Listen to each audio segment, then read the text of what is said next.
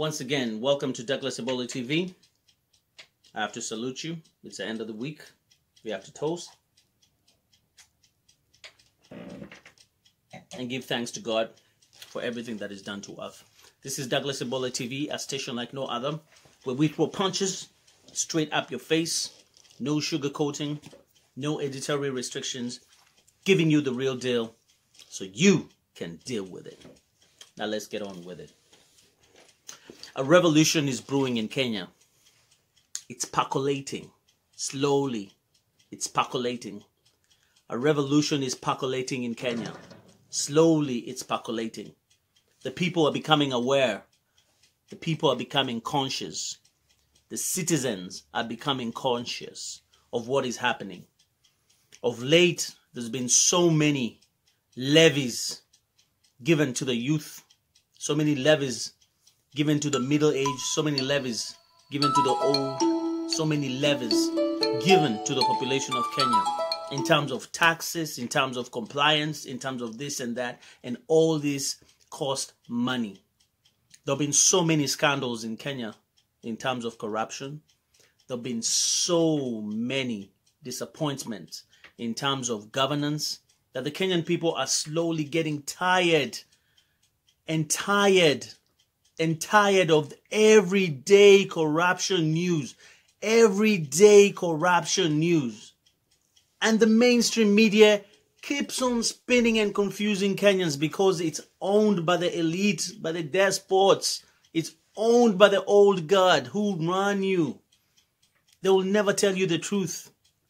They will never give you the right information. They will always confuse you and hypnotize you and give you information that you don't need. They'll keep entertaining you with programs and music and they'll keep telling you, oh, this is this and this is that. Keep on asking you silly questions and you give back a feedback with text messages, questions that end up confusing you. It is the role of the media to do research. It is the role of the media to be able to actually be a mirror to the society and give society information that they're not privy to because they have the resources and they have the employees who can do the research and who can go out and find out the truth and give that truth to the masses as part of their obligation. But do the Kenyan media do this? No. What they do is ask you questions, Kenyans. What do you think about this? Do you think this is this? Do you think this is related to this? This is what the media in Kenya has gone down to. It has stooped so low, they're not credible anymore. They're not credible anymore.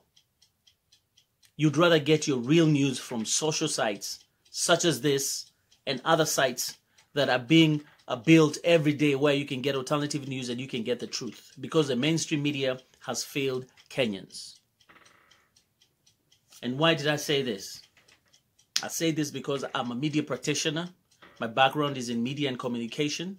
I understand the media very well and I can read the messages that are being portrayed. I can read deep down most of the people don't dis, don't discern messages and go deep inside the messages to find out what that really means or the perception behind that message or the intention behind this message but it takes a special skill and it takes a little bit of patience to be able to have a wide uh, a broader uh, sort of knowledge to understand exactly what is going on and what is being messaged and what is being sent and what are the intentions and what is the outcome that they want and this is what I'll tell Kenyans. Do not trust your mainstream media. Do not trust your mainstream newspapers. They're engaged in propaganda, in spin. Most of the time, they don't even give you the right information. Most of the time, they give you their own opinion. Hmm? And you're left confused, wondering what has happened. The stories that you want aired and talked about, probably they don't do it. They'll give you some other information. And if you concentrate too much on certain topic and they see that is detrimental, they'll move on to another topic and confuse you. Something very exciting. Ooh, there was a gentleman who was caught with a woman in Machakos or in Mombasa and they're stuck together. And it's a public it's a public uh, sort of like news that is broadcasted at 9 p.m. Uh, or 7 p.m. where ev- when everybody's watching the news and really wants to get information that can help the country, that is the news they give you sensational news and entertainment news to confuse you. And Kenyans being Kenyans, they forget very quick. Let's not forget very quick, Kenyans.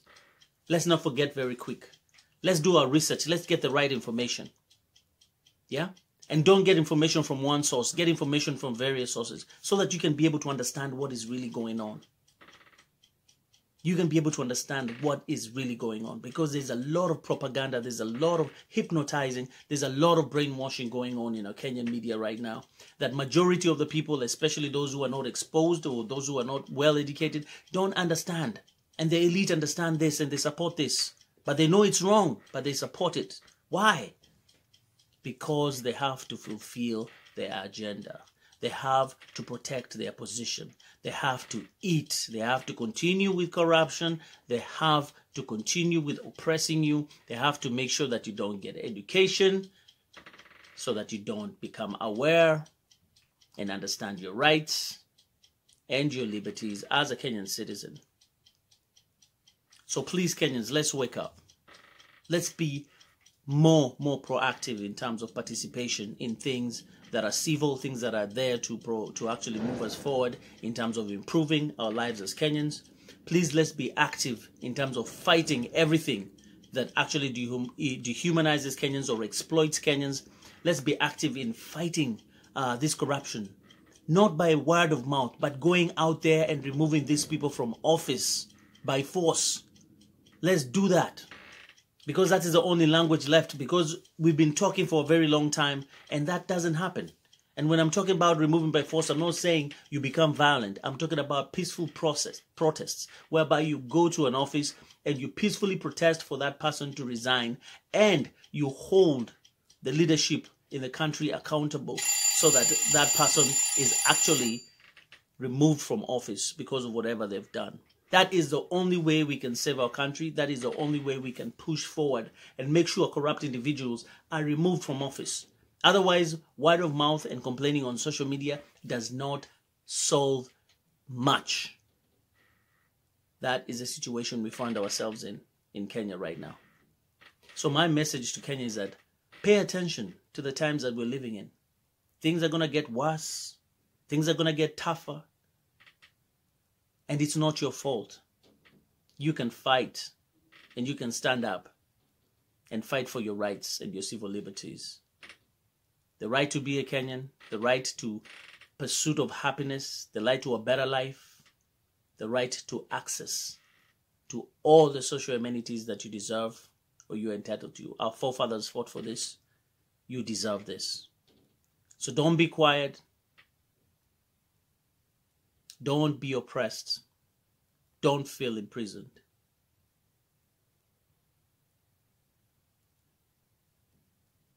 You are a Kenyan and you deserve better. Stand up. Stand up now. There is no other time. Stand up now for your rights and change this country for the better change this country for the better. Don't elect these same old leaders. Let's go for new people completely.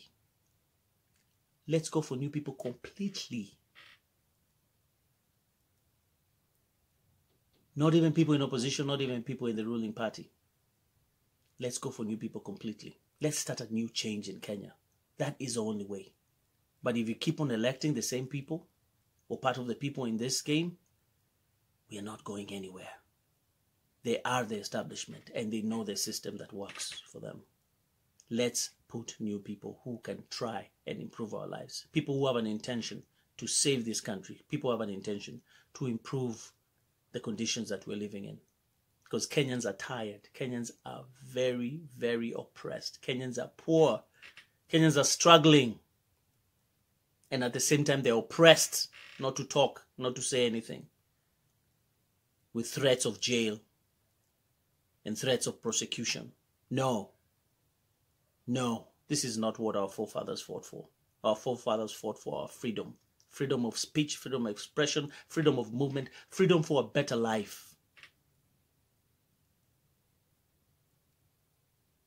Let's all stand together and say, enough is enough. We have to make a decision. And our decision is we want a better Kenya, a new Kenya with totally different leadership and obedience to the Constitution and the rule of law in the country.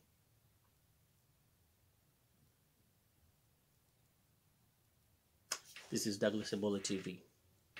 Find me on YouTube, Douglas Ebola TV, and on Instagram, Douglas Ebola TV. Follow me and subscribe to my channel. Let's keep the conversation going because I believe Kenyans are ready to make that decision. May the peace of the God be with you.